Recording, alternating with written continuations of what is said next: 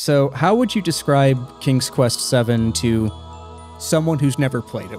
I would say it is my favorite game of all time. It still makes me tear up a little bit every time I, I play the game. The desert, the forest, the dark land, it's like a magical journey. So I hated this game when I first played it casually. I thought it was stupid. This is like a Disney movie. Like uh, this is like for little babies. I was like, what is this? Everything looks like you know a smiley Land Before Time cartoon. Man, it's my favorite King's Quest game to run now. More than five, more than six. I love running seven so far and beyond the other games. It's crazy. What makes this a great speedrun? How did the runners bring the time down? And why is King's Quest VII the speedrun that makes you sing? Originally released in 1994, King's Quest VII was a vast departure from the earlier games. If it wasn't titled King's Quest, I wouldn't have thought it was a King's Quest game. It's so unlike the others. It's the only King's Quest that has like a Disney esque full cell shading and went through many different animation studios. Even though there's not many frames of animation, the ones that are there are, are fantastic and immaculate. And they very much simplify the user interface in that you only have your left mouse button click and your mouse cursor just sparkles there's inventory object puzzles and stuff like that, but it's all very kind of gone back to basics. The game even auto saves just before you die, a first for the series. It's so much more forgiving in like every aspect. The game opens with Princess Rosella lamenting the pressures of growing up. She doesn't want to be tied down in marriage and wants adventure instead. When her mother, Queen Valanice, starts talking about a potential suitor, Rosella becomes distracted by a vision in the pond. So, Rosella does the logical thing and jumps in. Valanice jumps after her, but the two become separated. The game then alternates between Valanice and Rosella over the course of six chapters. In addition to finding each other, the two need to defeat the evil sorceress Malicia. Malicia's grand plan is to destroy the land of Etheria by making a volcano erupt. In the end, good triumphs, and Rosella lives happily ever after. The credits roll over arguably the best song in the King's Quest franchise, A Land Beyond Dreams.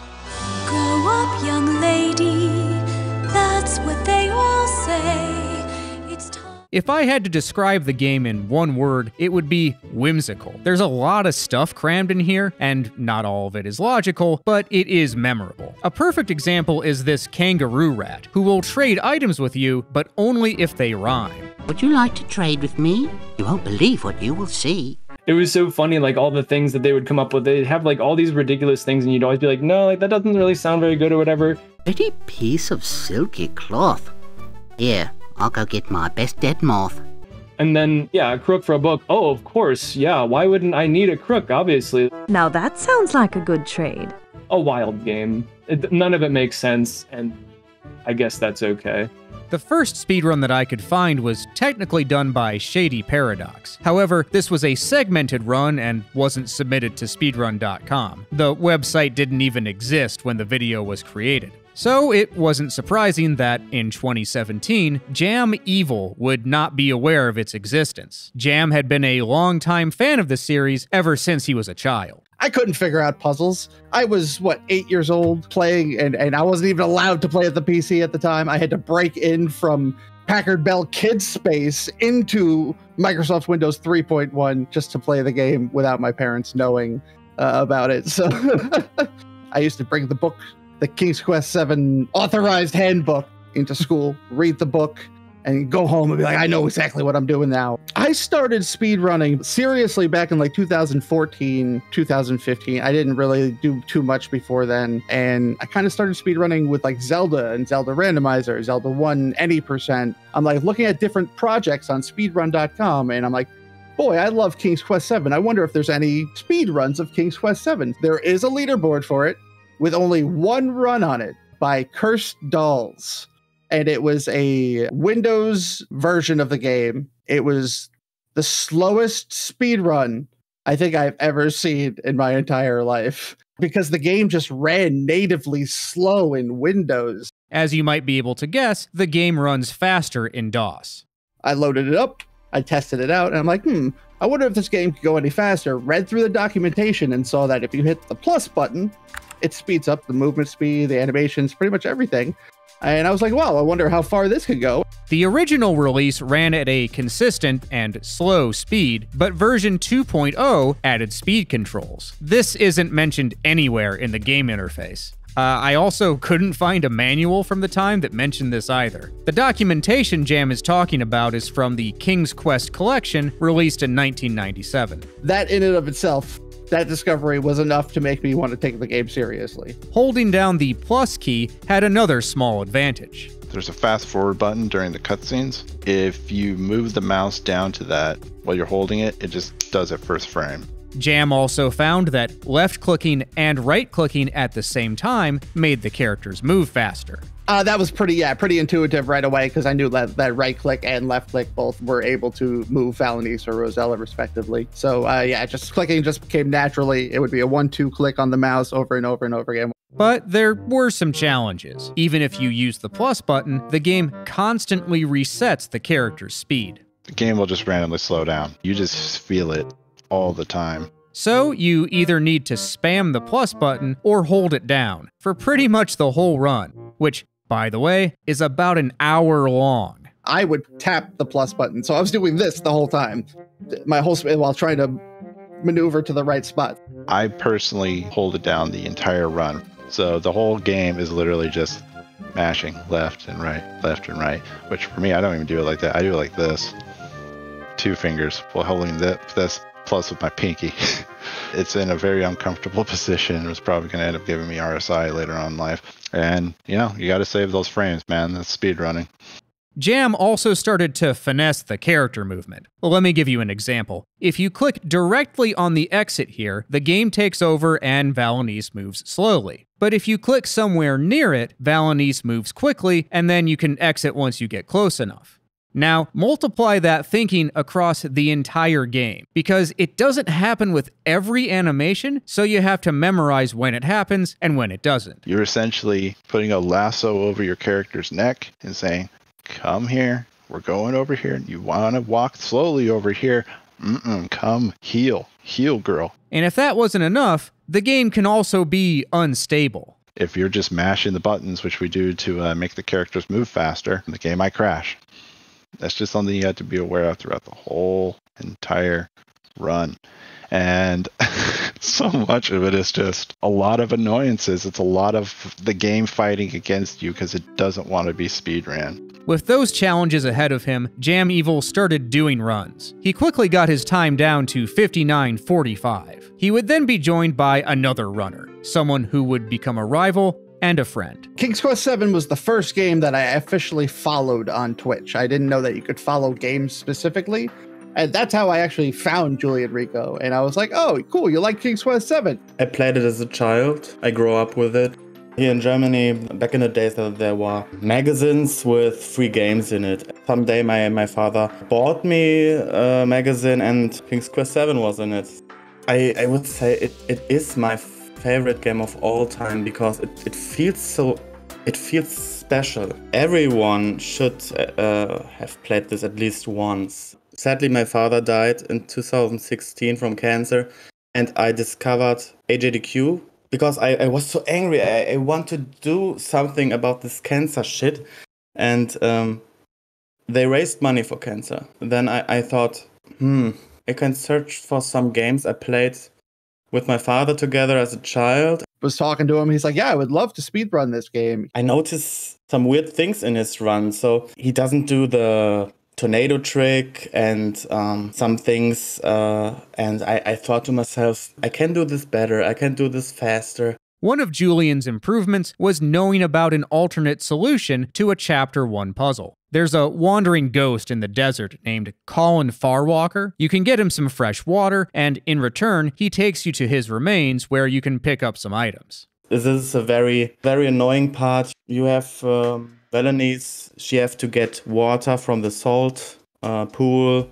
And she have to cry in the bowl and then hey, you have to grab some corn and then magically the water is drinkable. And then you can get to the thirsty man and give him something to drink. And then he leads you to a tornado where his body lies on the ground his skeleton and he pushes the tornado away It looks like you can't get past the tornado without Colin, but you can actually wait a moment and just grab this horn. Because of the alternate solution, you don't need the other items. With that and a few other route improvements, Julian would start running the game. We've been talking and working on the game for maybe a, a month or so, and he starts getting a faster time than me. I think it took me five tries or so, and then I beat his uh, his his record. And I'm like, okay, great. Competition, let's go. And I'm I'm back in the game. And then a long time it was only Gem and I beating each other. I get maybe a few seconds faster than his time. He'd get a few seconds faster than my time. He texted me one one night. I was asleep here in Germany. This time schedule is different. Uh, I got the new world record, and I look at my phone, and he said, "Oh no, I have to grind some more to beat him now." And He would find a cool little trick that saved some time or a different routing option. It was little things here and there that added up to be so many different things in the long run. One of the more interesting discoveries was a skip across the main hall in Chapter 2. Coming out of the blacksmiths, if you rapidly click through the screen transition in the right spot, you'll instantly warp to the other side. Being able to zip from one side of the cave to another on one specific screen without having to walk it. That was amazing and mind blowing at the time. I didn't we didn't know how we were doing it, but we were just doing it. It was just tap as fast as you can. If you blink, you miss it. Another one was the you know speeding up the animation of this melting spoon.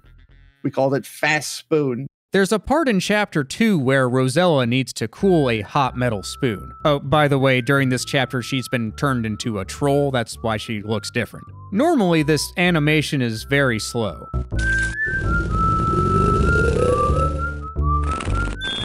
Yes! But if you time it so that you cool the spoon when the fire is burning down, Rosella gets a little extra energy. Just put the spoon into the bucket at the right frame. It just causes the spoon to go faster for whatever reason. We didn't know why. We were just doing it.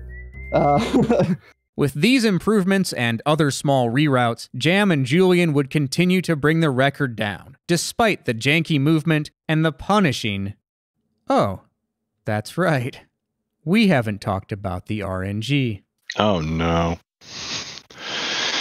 Chapter 4 is where the RNG hell starts to ensue. You end up running into what is essentially Bart Simpson and Alfalfa from the Little Rascals, where you had to break into their pumpkin that's up there, and there's this big cobweb in front of it where this giant spider will come down and eat you if you try to get, if you get caught in its web. And there's an RNG chance every time you cycle the screen back and forth that this bucket will come down. whether it's there or not, it's a 50 50 chance every time you go on the screen. So you can have a 50 50 shot of taking the elevator and advancing the storyline or having to reset the screen. We call it Pumpkin Please. I've heard, I've heard Pankin. They, uh, I've heard, uh, I, I like, I like Pumpkin. There's no reason behind it. I just, you get silly after hours and hours of nonsensical gaming, point and click adventure, speed, speed running. In the same chapter, players need to dig down into the Boogeyman's home, but the Boogeyman is not exactly the nicest character. There's a stick there that's in front of Boogie's place, and if it's up, Boogie's home. You don't want to go in there. If it's down, Boogie's not home. So we want to boogie down. We don't want to boogie up. We want to boogie down. Again, another 50 50 shot. You have to go reset the screen each time. Another more time loss. After that, we have Cuddles to deal with. That's Malicia's dog. We need to break into Malicia's house, which is something Cuddles apparently doesn't like. If you try to go into Alicia's house with the dogs yapping, oh, it's a nasty little termite. uh, she'll kill you. That darn little dog. Except the RNG isn't set on this screen. It's set when you enter the previous screen. So to cycle the RNG, you have to go through four screen transitions. And it ends up costing at least, I think, three or four seconds per bad RNG. Yeah, it's it's a pain. But at least after that, it's over, right? Guess what? You have to do pumpkin and dog twice in this game. Yes, in Chapter 5, Valanice has to wait for the pumpkin and dog, just like her daughter. So you have to run through that whole RNG gauntlet again in chapter five, which is annoying, but at least Valanice doesn't have to do boogie because that would really, really suck. But okay, we're done now, right? The worst one, however, the absolute worst one, is the horse RNG in chapter five, the final nail in the in the speedrun coffin of King's Quest Seven. Sirocco, the wind spirit. He's a he's a lovely horse. Beautiful. Right at the end of the game, after you've saved the Lady Mab, she gives you a bridle. You're supposed to catch the wind spirit and ride it up to talk to the king and queen of Etheria. So, when you get to the top of this mountain, you have to wait for Sirocco. And how long you have to wait is random. We've seen as low as eight point not seconds and forty something seconds of just sitting there waiting. Sirocco, the eater of runs. He is a vengeful god. He does not care if you're two minutes ahead of world record. It doesn't bother him. He will gobble that up. and you'll be on world record pace and you'll just be like oh again huh oh look at that i just went from gold to green to red oh man glad i just spent another 50 minutes of my life doing this When you hit Sirocco, there's like four or five minutes left. That's it. You've just spent like an hour running this game just to have it crash and burn at the end. Disheartening, dude. Awful. That's why I hate Sirocco, and that's why he's no friend of mine. Eventually, Julian would get his time down to a 55-18, but the RNG was starting to discourage him from pushing it any further. I did multiple runs, 10 runs a day, and every time the dog ruins my run, th- that was very frustrating. And then, on February 8th, 2018, Jam would get this run. By this time, he had found another use for the zip across the main hall in Chapter 2. At the end of chapter 2, Malicia shows up one last time and you have to scare her with mouse and stuff. There's an unskippable sequence that takes about 25 seconds. Or so it would seem. You can actually skip this by walking back over to the blacksmith and performing the zip we discussed earlier. Got it. Jam then got ready for the RNG gauntlet. Good elevator, good elevator, good elevator. Nope. Boogie down. Yes. Good dog, good dog, good dog, good dog.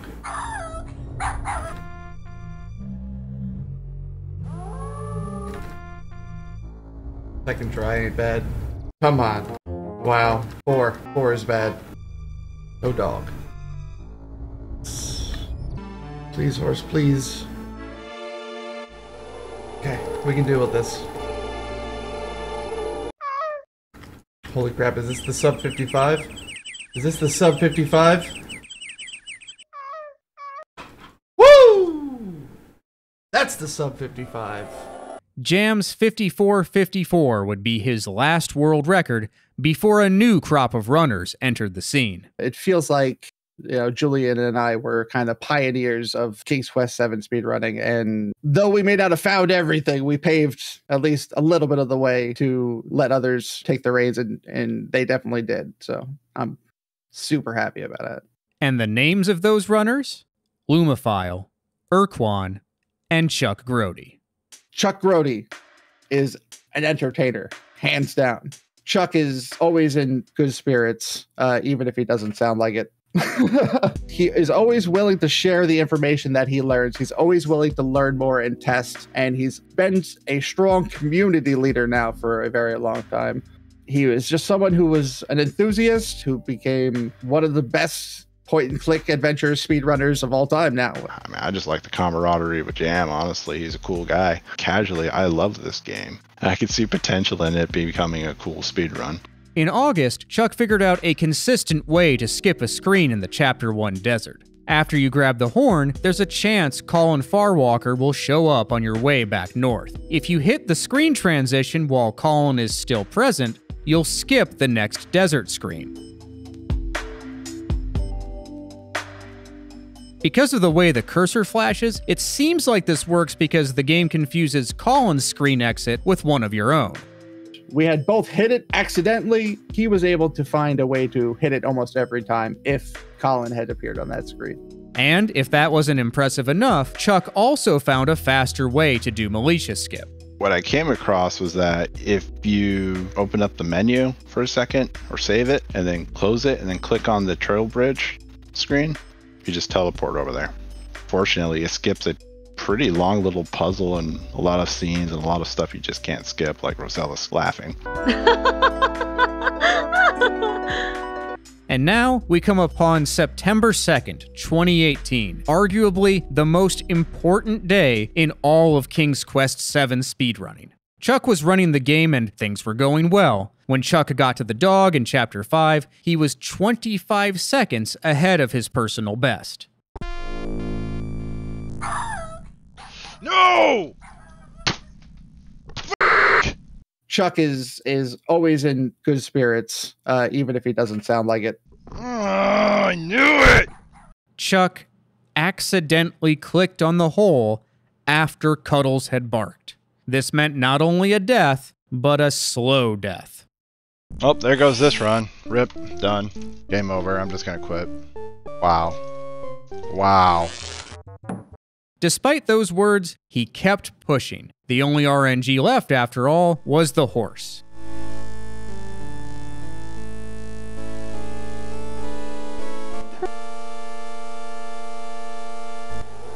Oh!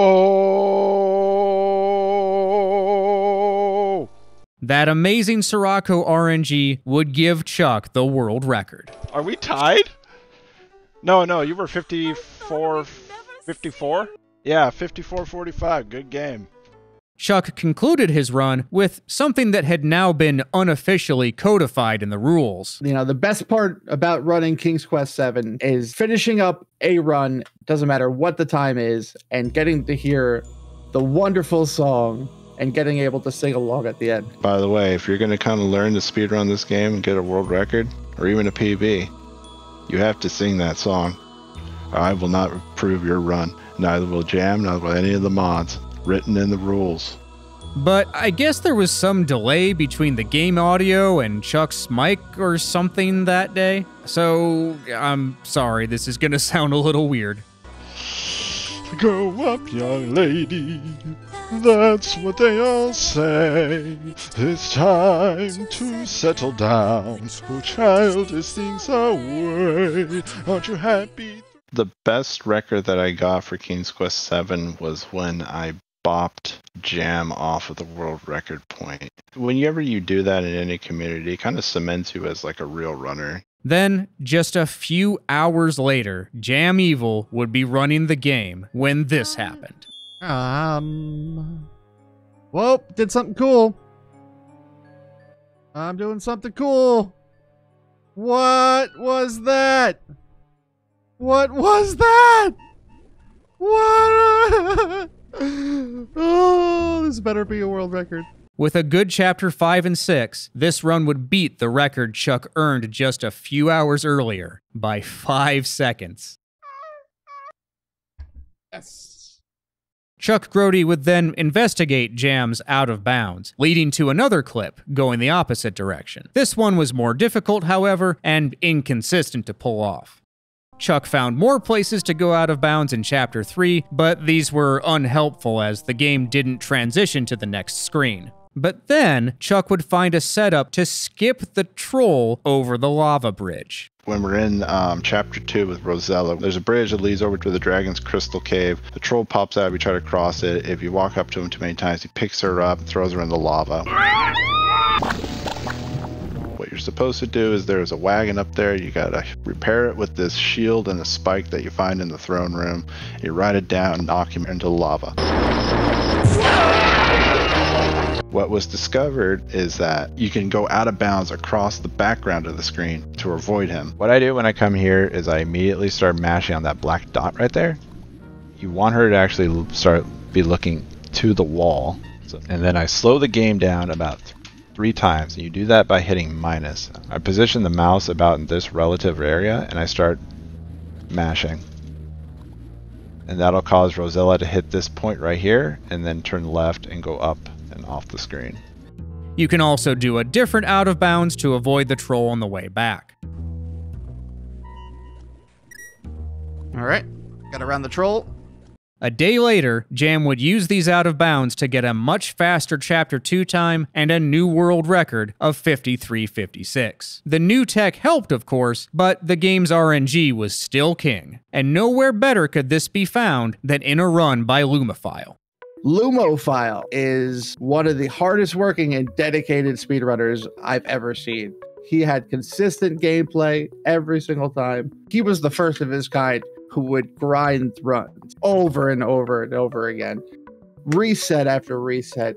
On September 19th, Lumo was on a great paced run going into the endgame. As with so many runs before, he climbed the mountain to bridle the horse. Jam's world record set just a few days before had a 36 second wait for Sirocco. Could Lumo do any better?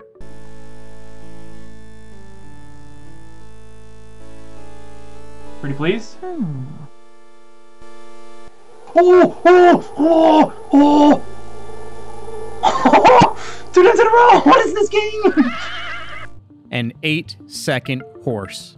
Ultimately, Lumophile did not get a new world record that day, though he did get close with a new personal best of 5407. This incident also introduced new game terminology for excellent horse RNG. There's, you know, fast horse, god horse, and then a Lumo horse, which is just essentially instant. There were n- not just like one time, but like a couple, a few times maybe where the horse was just like right there. And I mean, it, it just gave me these runs for free. There was just one thing wrong with Lumo's run, something that made the moderators question its authenticity. I uh, broke the rules according to Jam. I I did not sing on a PB. Uh, I was I was a degenerate, a rule breaker. I was bad. Despite this, the mods allowed it, and the runs continued. A week later, Jam would get a great early game and a fast horse, though not a Lumo horse. It was enough to drop the record to 53-12. Things were going great for world record activity, but as sometimes happens, not everyone was satisfied with the new developments in the run. I thought to myself, okay, let's get back into the speedrunning thing, and I saw the new glitch, and I thought to myself, no, I, I, I don't think I want to get into this again. The RNG thing, the new tactics, it doesn't felt right. I, I can't explain this to you better. I love everything about this game.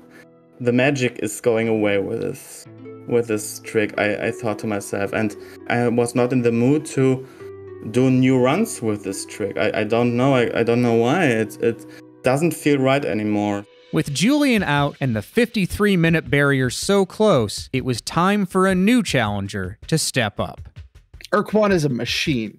He is a machine. He really is. He's he is so consistent. Uh, he's really good at researching and finding out the best possible, most optimized way of doing things. And Urquan is able to push that to the absolute limit. He is always top tier with whatever he does. By this point, Urquan had already achieved world records in King's Quest V and King's Quest VI, and now it was time for King's Quest VII. He told me in DMs plenty of times, I don't like this game at all, but I'm going to get the world record. So I was like, I believe you, dude. he had actually gone, I believe, on a GameFAQs guides and found a number of things that sped the run up, um, primarily in chapter 4 there are two ways to approach the boogeyman screen from the top or from the right. If you approach from the top, Rosella is very quick to walk on the screen. If you come from the right, you have to watch a long cutscene with a cat the first time that you do it. But if you get bad RNG, you have to cycle the screen. Walking off to the top is slower than resetting the screen to the right. Since Urquan was grinding for world record and would reset on bad RNG anyway, he went for the riskier strat. Every time you have to reset the screen, I want to say it's like seven or eight seconds lost for every boogie you don't get. Also in chapter one, he rerouted giving the, the seed for the bead The usual route in Chapter 1 has you doing this get a corn kernel from inside this basket, plant the seed to get a full ear of corn, leave the screen, come back, grab a gourd seed, and then trade the seed with the kangaroo rat for the bead. You need the green bead to proceed in the next deed. But because of the alternate Chapter 1 route, runners don't need the ear of corn. So. We already have a seed. Why don't we just give it to the kangaroo rat and get the bead? Urquan continued through the rest of the game, making small but important adjustments. He analyzed it, rerouted it, optimized his new route, and of course smashed the world record. Urquan didn't break the 53 minute barrier. He broke the 51 minute barrier. Curiously, this world record was the only run Urquan ever submitted to the leaderboards. Uh, well, see, what happened was that he probably recorded about 1,200 attempts of it and then went into DaVinci Resolve and cut them together like this cheating bastard that he is. Uh, maybe, but more likely, Urquan was just the kind of runner who wouldn't accept anything less than perfection. He ran a lot, but he would only submit what he thought was great he really didn't stream a whole lot and i think that's why some people were suspicious of him because i mean obviously he has fantastic precision Chuck Grody and Lumophile would keep lowering their times into the spring of 2019. Lumophile's run on April 9th would be his final personal best. I kind of felt like I was a part of like the revitalization of 7. There was some 7 being done for like about a year straight. Jam was in like every one of those streams because that's like his game. Like he loves seven. It's definitely like that feel that you look for in like a really big game community where you have like a lot of this competition but it was really only like four of us so it was it was kind of cool because it was it was almost like a brotherhood on June 7th, 2019, Lumophile would run the King's Quest Collection at the North American Speedrunner Assembly Marathon. The King's Quest Collection is a run of all seven all seven games in a row. And after that, Lumophile would retire from King's Quest speedrunning. Ultimately, he won the battle against RNG and, and retired happily from King's Quest 7. With Lumophile gone, what about Urquan? Well, in March of 2019, after many impressive King's Quest world records, Urquan disappeared. We've tried to get in touch with him, but with no success. To this day, we still don't know what happened to him, but wherever he is, I wish him well. So, of the three newcomers, that left Chuck Grody. He continued his King's Quest VII grind, still chasing Urquan's world record. And on August 19th, 2019, he got this run. At the end of Chapter 1, he was neck and neck with Urquan. He maintained pace through Chapter 2, being less than a second behind. Going into Chapter 4, Chuck had gained some time and was now a few seconds ahead. There's what all comes tumbling down. Pumpkin, please. Thank you, Pumpkin. Oh, we boogied down. So far, so good. Alright. Things were neck and neck, but there's something I haven't told you. There's a section where you use a dream catcher and have two nightmares fight against each other. If you accidentally hold the plus button through that, you die and Urquan, in his world record, had an unintentional death. This meant Chuck was already 8 seconds ahead going into Sirocco. Alright. Not a god horse, but a fast enough horse. Enough for Chuck to take home a 50 38 and snag the crown from Urquan. Mm, the curse of Quan has been broken! A year later, Chuck would get back at it a 50-26, and then a 50-12. 14 seconds. Not bad. The summer of 2020 also saw the entrance of another runner. He originally went by the name Top Keck Shrek, but has since renamed himself Retro TKS, so that's what I'm going to be calling him. All the pieces came into place. It was just like my car was dead. I couldn't go anywhere. The only thing I had left to do was sit at home all day and play video games. King's Quest VII was not a likely candidate for TKS to start running. So I hated this game when I first played it casually. I thought it was stupid. He began instead with King's Quest VI. He quickly got world record by July. He kept grinding, getting better and better records, but soon burnt out. It was time for a change. This was a breath of fresh air. Like running this game, I was like, I can relax. I can loosen the belt a little bit. It's not super ridiculously technical. I have time to breathe. I have time to think. I can plan what's coming next. And the more I played it, and the more I learned about it, man, it's my favorite King's Quest game to run now. Retro TKS learned the game quickly. Soon, he was getting times rivaling jams. Love TKS. Someone who has the grindy aspects of Lumophile, has the entertainment aspects of Chuck Grody. He sings during his run. He plays music during his run. That's all that matters. I don't care about the speed run anymore. Entertain me, and that's it. Then, TKS did something monumental that would forever change the way runners looked at the game. There's a little tune that plays during chapter 3 as Val is walking up and down the stairs in the crazy castle, I like to call it. It's like an MC Escher painting. She's walking through the staircases. And it's got a really catchy tune, and so I just thought I'll make up some words to go over it. He apparently wrote some like song to the tune of it about hot dogs or hot dog water or something like that. I eat a hot dog every day. Sometimes I eat two or three hot dogs, but that's really none of your business. I heard him singing it, and I was kind of like thinking in my mind, and no offense, Shrek, this kind of lame. Now, to understand this next part, you need to know three things. Number one, the community would often have races around this time, friendly competitions to see who could get the best time. Number two, the game and series was created by Roberta Williams. We sometimes call her Berta for short. And number three, Franzia is a popular brand of boxed wine. During one of our uh, races, I think I was just like asked randomly, anybody else think that Berta is kind of like a wine ant? You know, she just kind of like sits on her boat, has her giant projector, and she's sitting here watching our speed runs and just pounding back boxes of Franzia, or getting really pissed off and posting on the internet or whatever, complaining about us beating her game so fast. We then changed the hot dog song to Berta drinking Franzia. I drink my Franzia every day. I drink a box or two a day. Sometimes I have three, sometimes I have four. And then I piss all over myself. There are some ground rules for the Franzia song. The exact number of Franzia boxes that Berta drinks is unknown. That's up to you. You ad lib how many boxes she drinks. I like to say one to three. It's also customary to improvise two things. One is what Berta gets up to after she drinks too much Franzia. She may piss all over herself. She may throw up in her mouth. She may.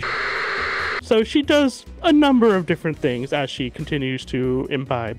And then the other thing to improvise is what Berta is going to yell at Ken Williams in order to rectify uh, the aforementioned shenanigans. So he may grab the Swiffer, he may get the wet naps, he could put the couch over the stain on the rug. He also does something to solve the crisis. As long as you satisfy all these uh, ground rules for the Franzia song, you are free to run the game. I mean, I I love me some good boxed wine. Franzia stores well on on ships on long voyages. You don't need a cup. You could just drink it out of the bag. I wanted to explore the power of the Franzia song on a deeper level. I wanted to know what advantage this supreme alpha ninja strat would bestow upon those skilled enough to wield it. So the easy thing to do would be crack open Excel, put in the runs, see which ones had the Franzia song, which ones didn't, ignore the difference between correlation and causation, and take an average between the two. But I am not a smart man. So, I found a new fancy web framework and a backend as a service I had never used before. I installed everything in minutes and then spent the next two hours in incompatible dependency hell before giving up and going back to the old fancy web framework I was familiar with. But that wasn't all. No. I scrubbed through every run and found the timestamp of when the singing happens. Each row in this table has a link so you can compare the variations, and oh yeah, I don't think I mentioned both characters have to go through this room at different points, so you've got two timestamped links. No, never mind, may as well throw in a link to when the runner sings along with the end credits. And all this to show that, yes, singing the Franzia song saves you an incredible amount of time, but not really. But yes, really, and the link to this masterpiece is in the description. So, back to where we were in the summer of 2020. The power of the Franzia song enabled Chuck to drop the record to 50.09. The 50 minute barrier was tantalizingly close, but even the Franzia couldn't completely overcome the brutal RNG. I hit a burnout phase with trying to get the record that's sub 50. No, oh, this game, dude. And in our conversation, Chuck told me about a run that very nearly broke him. It was a run where I essentially got 100% perfect RNG. The whole thing, across the board. First try Pumpkin, first try Boogie, two first tries of Cuddles. Everything. It all lined up. And I got one of the worst horses I ever got in my life. I remember at the end of the run, I hit the final thing and I went like this. Because I was just flabbergasted. I'm like, how could you give me everything and then just it's like the Michelangelo, painting, the two fingers of featuring God, and you just fall through the chute down to hell. Try again, sucker. You ain't winning this one. Because of this, Chuck would take a long break from King's Quest VII speedrunning. And then, in June of 2021, several runners had a King's Quest VII race. They got to talking about how close the game was to sub 50. And so, Chuck and TKS vowed to compete to be the first. We were all convinced Chuck was going to get it first because he knew the game better than any one of us, and he was just throwing so many runs at it. So obviously, we all thought if anyone's going to get sub 50, it's got to be Chuck. Just seeing it back and forth between Chuck and TKS and Chuck and TKS, it was just super exciting. Until June 23rd, 2021, when Retro TKS got this run. First buggy? Nope. Hello, doggy. One doggy.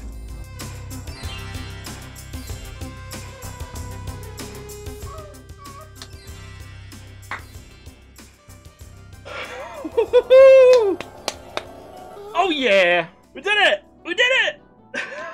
Sub 50, baby! The RNG had been pretty average, but it was average throughout the whole run and none of it was bad. It was good enough, and Shrek was also just that good. Grow up, young lady. That's what they all say. It's time to settle down. I am surprised I was the first one to get sub 50 because that was the goal for the longest time. I didn't end up getting it. Shrek got it, and I'm hey, I'm glad he did. I will admit I was a little bitter about that. But that that was really fun because we were just like just talking back and forth about the game, and that and that was the big thing is that it opens dialogue up about the game. It allows me to talk to all these cool people about a game that I love. Two days later, Chuck wouldn't get a new world record, but he would drop his time to 50.04. Yep. From there, Retro TKS would take a break and then return in February of 2022. The last world record, if you recall, had merely average RNG.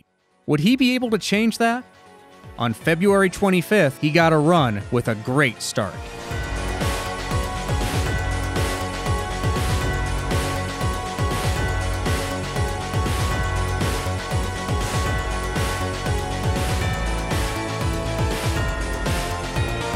Sometimes I have one, sometimes I have nine.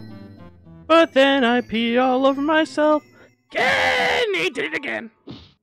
He was about 20 seconds ahead when he got to this screen to grab the ambrosia on the end of the branch. And there's something I haven't mentioned yet. No, no, no. Sirocco can show up early and knock you off the branch. I lost like 10 seconds because of that. I was like, thank you. Appreciate it, buddy. Sir! That is much salt. Much salt.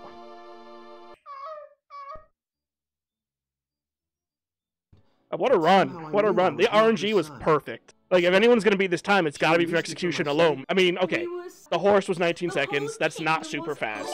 Yeah, the horse knocked me off the branch. I forgot about that. That's true. And that would be it for King's Quest VII world record activity. For a while. But on the horizon, a new member was on his way up. So when I was little, it was mainly my dad that kind of inspired everything. The earliest I can remember was King's Quest 3, you know, Gwydion and then an Alexander. You know, I specifically remember Manannan the Wizard. Um, and then, you know, he just got every King's Quest from there. And as he would play them, if I was able, I'd sit right next to him and just, you know, oh yeah, this is so cool. Like, yeah. And then he eventually got to 7. The first game Admiral Jay would run would actually be Space Quest 6. This was a game also run by Retro TKS. I don't know how anyone's going to take this. I credit myself for getting Jay into the King's Quest series because I beat a Space Quest 6 run, okay? He had done one run like a year before and had not done any runs after that. So I was like, I'm going to tackle this game. I beat his time. All of a sudden, he's back and he's running and he's doing all these other games and he became like a really valuable member of the community. And I'm just like, that's that's me, dude. I'm taking credit for that. Okay, I don't care what anyone says. I don't even care what Jay says about it. I'm saying that that's a fact. But instead of King's Quest VII, Jay would start with a different King's Quest. I, I gravitate more towards the point and clicks, you know, so I played five and then four retold. Quick plug here for King's Quest IV Retold. It's a fan made version of the game with a lot of quality of life updates like autosaves, the ability to turn dead ends off, and it removes the parser completely in favor of point and click icons. If you haven't played King's Quest IV, or even if you haven't played it in a while, this is the way I recommend playing. Okay, back to talking about Admiral Jay. He's very talented. He he beat this, the King's Quest V record in no time flat. Like it was like a couple runs later he had the record. I was like, damn, dude. Like that that's he has a lot of skill. By June of 2022, Admiral Jay was running King's Quest VII and progressing quickly. Uh, Admiral Jay came out of nowhere. He started working on the game, learned all the strats really fast, and just started working down that time. Very admirable. He's a admirable J. I'm I'm sorry, YouTube.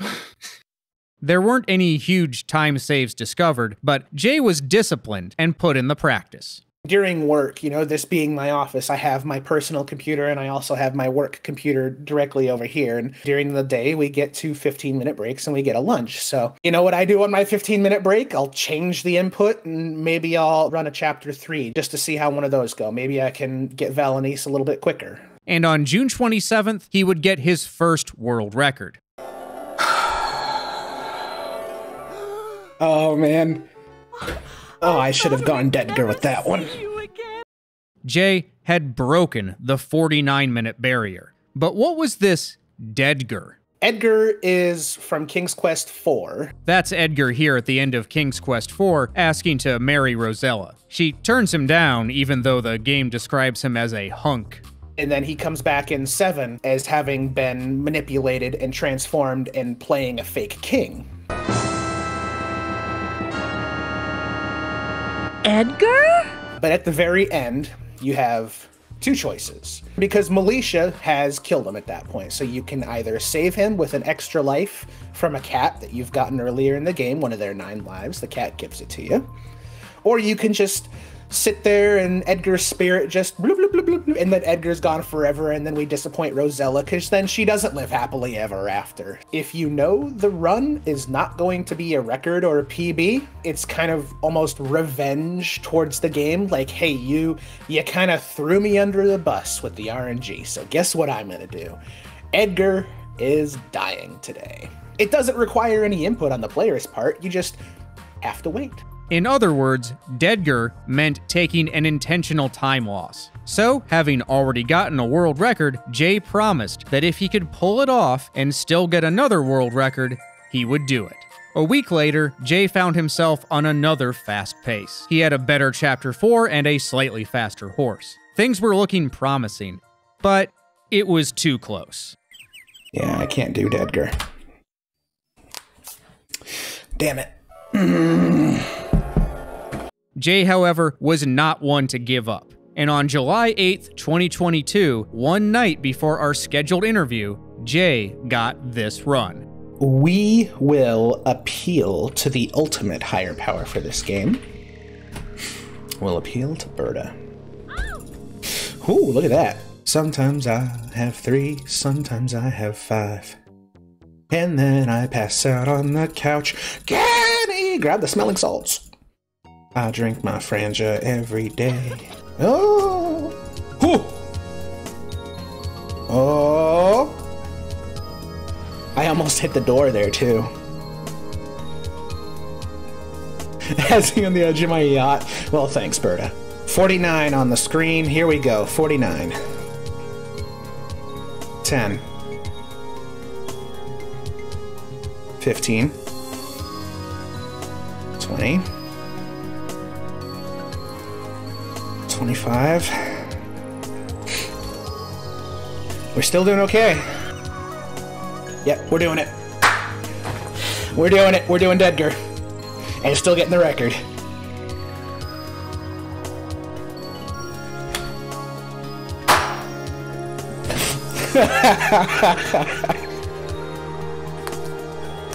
oh. Oh. oh man. Jay had done it. It had all paid off. The training, the grind, the singing. Before last night, I would have said that Franzia was less important to success. But last night I I sang all the Franzias and now now I'm a believer. So, with the runs finished and Rosella with her unhappy ending, there's only one thing left to do. Grow up, young lady, that's what they all say. It's time to settle down, put childish things away. Aren't you happy, thrilled, delighted? You're going to be a bride. Yes, I'm so excited.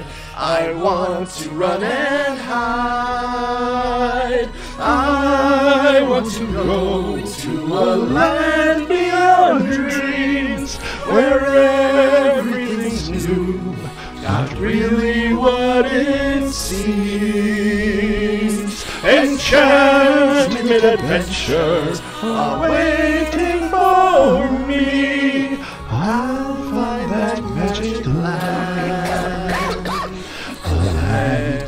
beyond